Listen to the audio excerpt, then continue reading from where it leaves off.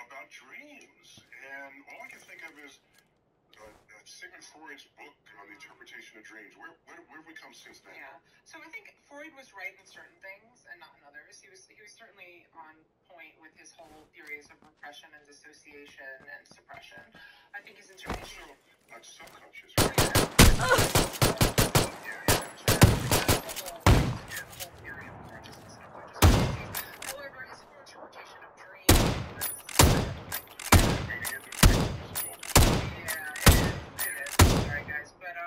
Woo!